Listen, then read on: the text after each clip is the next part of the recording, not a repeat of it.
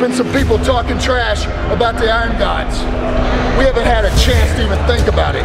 We've heard on the internet, we've heard online, we've heard on TV that LOK wants our championships. Well, I'll tell you something. We couldn't even think about you because we had other teams to think about. We had to go defend these in Japan, and now we beat the world's greatest tag team.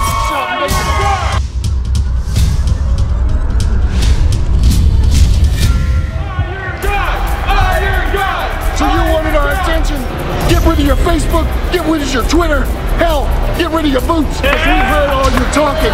We've heard it all. And now, the talking's gonna be over, and Iron Godz are gonna what they do best. We're gonna kick your ass. He's gonna hit the 300 spear, I'm gonna hit the ego trip, and we don't hear another damn word from either one of you.